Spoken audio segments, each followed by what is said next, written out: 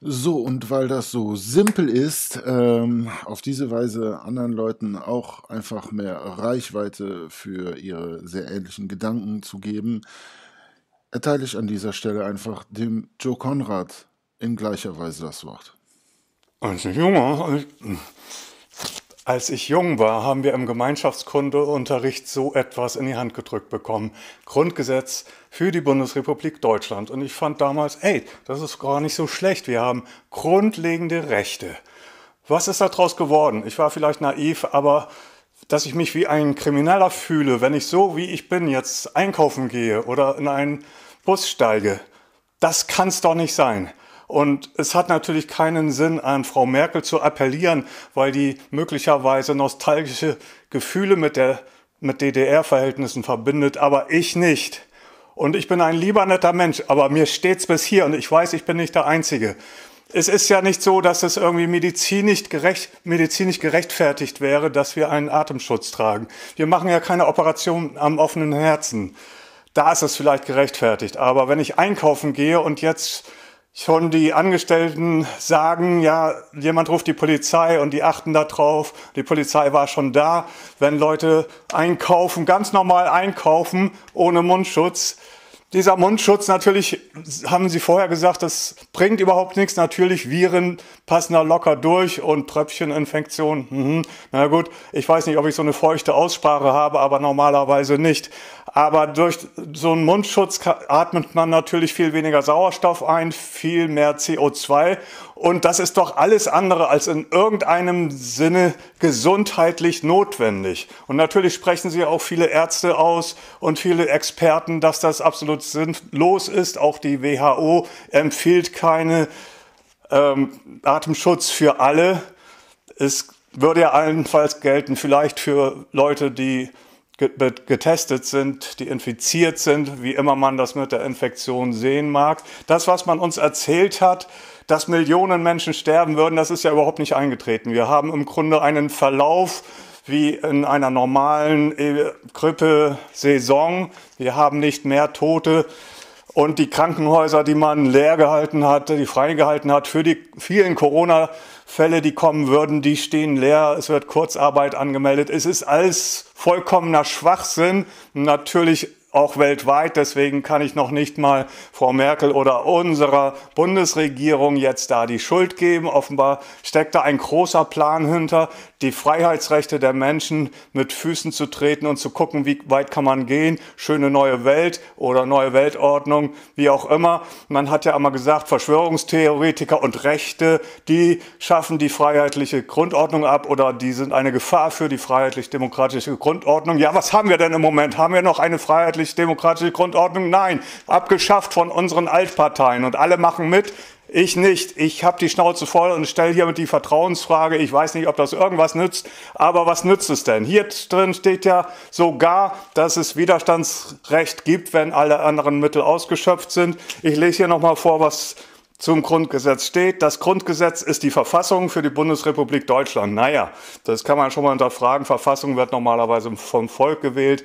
Das haben wir natürlich nicht und es gibt einen Vorbehalt im Grundgesetz, solange es eben äh, keine Wahl äh, zur Verfassung gibt, ist es eben vorläufig, Paragraph 146. Es wurde vom Parlamentarischen Rat auf Grundlage des Entwurfs eines Sachverständigenausschusses am 8. Mai 1949 beschlossen und von den Alliierten genehmigt. Aha, genehmigt. Also äh, es setzt sich aus einer Präambel, einem Grundrechtsurteil und einem organisatorischen Teil zusammen. Also Grundrechtsteil. Also es gibt Grundrechte. Grund heißt doch grundlegend oder äh, ist das alles Verarschung?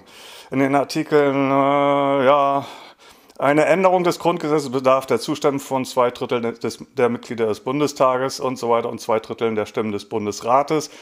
Eine Änderung, welche die Gliederung des Bundes in Länder, die grundsätzliche Mitwirkung der Länder bei der Gesetzgebung oder die in den Artikeln 1 und 20 GG niedergelegten Grundsätze berührt, ist unzulässig. 20 ist äh, Widerstandsrecht. Also, äh, was im Moment läuft, ist wirklich die Abschaffung des Gesellschaftsvertrages oder wie immer man das nennen will. Alles, was wir jemals angenommen haben, wir leben hier in Deutschland eigentlich ja nicht schlecht, wir haben weitgehende Freiheiten, ist im Moment einseitig aufgekündigt worden, auch wenn es natürlich schon vorher sichtbar war, dass äh, nicht alle Freiheiten gelten, die Meinungsfreiheit und so weiter ist alles eingeschränkt.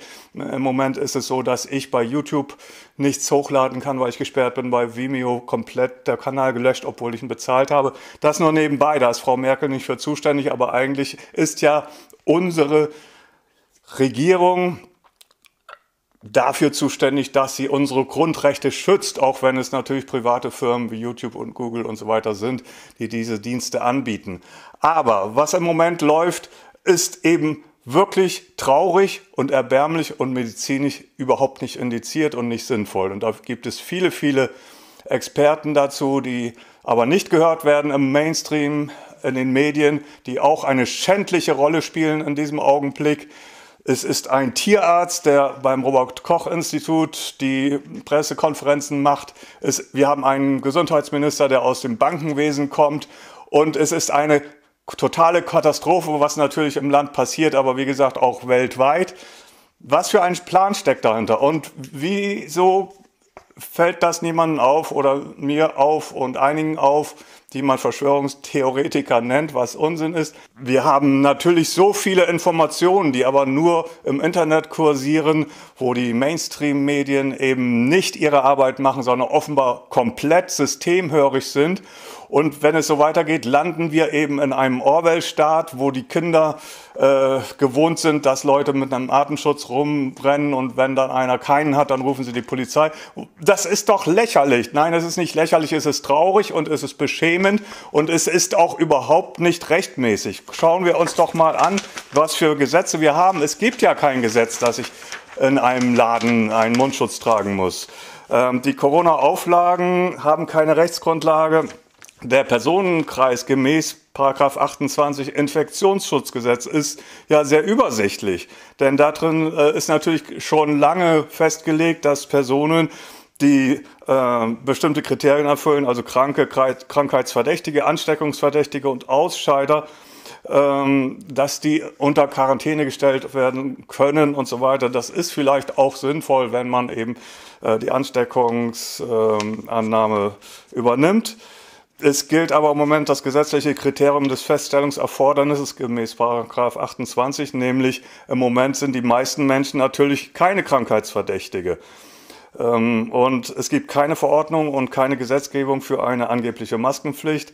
Es ist lediglich eine Empfehlung. Ministerpräsident Armin Laschet hat am 27.04. gesagt, wir brauchen möglichst ähnliche Regelungen zum Schutz der Gesundheit in allen deutschen Ländern. Regelungen, also äh, es ist eine dringende Bitte. Weder das sogenannte Hausrecht eines Supermarktes zum Beispiel noch eine Nutzungsverweigerung des öffentlichen Nahverkehrs darf eine Maulkorbpflicht erzwingen. Die Verweigerung zum Betreten und Benutzen beim, bei Nichttragen einer Atemschutzmaske ist gesetzlich nicht zu rechtfertigen. Hinsichtlich des Betretens von Gebäuden ist anerkannt, dass der Eigentümer grundsätzlich frei ist zu entscheiden, wem er Zutritt zu seinem Eigentum gewährt. Anders verhält es sich jedoch, wenn er zum Beispiel ein Geschäft für den allgemeinen Publikumsverkehr eröffnet und damit zum Ausdruck bringt, dass er an jeden Kunden Leistungen erbringen will. Er erteilt in diesen Fällen generell und unter Verzicht auf eine Prüfung im Einzelfall eine Zutrittsbefugnis. BGH äh, 94, 188 und so weiter. Dies kann vor jedem Verwaltungsgericht erfolgreich durchgesetzt werden und äh, das habe ich hier von der Seite unzensiert. Und es ist nochmal so deutlich, dass im Grunde die einzigen, die sich kritisch mit dieser ganzen Sache auseinandersetzen, quasi verbannt sind im Internet, dort zensiert werden und als Rechtsextreme und sonst was dargestellt werden, auch in den Medien, während sie die Arbeit machen, die eigentlich die Mainstream-Medien, die ja gut dafür bezahlt werden, machen müssten das aber nicht tun. Also, es ist eine große Gefahr, die freiheitlich-demokratische Grundordnung, an die wir geglaubt haben, ist einseitig aufgekündigt und ich fordere alle auf, Widerstand zu leisten, nicht mit Gewalt. Aber wenn ich sehe, wie auch Polizisten jetzt gegen Demonstranten, die einfach ihr Versammlungsrecht einfordern und ihre Grundrechte, die im Grundgesetz stehen, worauf die Polizisten eigentlich vereidigt sein sollten, wie die teilweise mit Demonstranten umgehen, die Polizisten, dann wird einem schlecht. Es gibt viele, viele Videos dafür. Ich weiß aber auch, dass es viele Polizisten gibt, die das auch nicht witzig finden und auch wollen, dass wir nicht alles mit uns machen lassen. Ich möchte diese Botschaft einfach, dass sie sich verbreitet. Ich kann sie momentan nicht mal bei YouTube hochladen, bei Bewusst TV kann man sie halt finden. Ich will hier auch gar keine Werbung machen, denn dieses ist eine allgemeine Ansprache, um einfach zu sagen, es reicht. Und wenn wir irgendwelche grundlegenden Werte haben, dann dachte ich mal, das ist ja zumindest was, wo man drüber nachdenken kann, egal ob man jetzt sagt Bundesrepublik Deutschland, Land, äh, Nation, Volk, räumliche Grenze, Geltungsbereich und so weiter. Darüber kann man natürlich diskutieren. Aber dass nichts mehr gilt und wir keine Rechtssicherheit mehr haben, das kann es nicht sein. So, und das war es von mir. Tschüss mit F. Habt euch lieb. Stellt die Vertrauensfrage. Stellt sie immer weiter. Nutzt in allen Videos, die ihr dazu macht, die in irgendeiner Form kritisch jetzt mit dem Ding umgehen, den Hashtag Vertrauensfrage, denn damit hat es zu tun und kommt auf den Punkt zurück, wo ihr die Frage, wem ihr vertraut, mit mir selbst beantworten könnt. Zu Risiken und Nebenwirkungen vergessen Sie die Packungsbeilage und lesen Sie die Bücher 2020 Die neue Erde oder die Anastasia-Reihe. Vergessen Sie nicht, Ihrem Arzt oder Apotheker auch davon zu erzählen.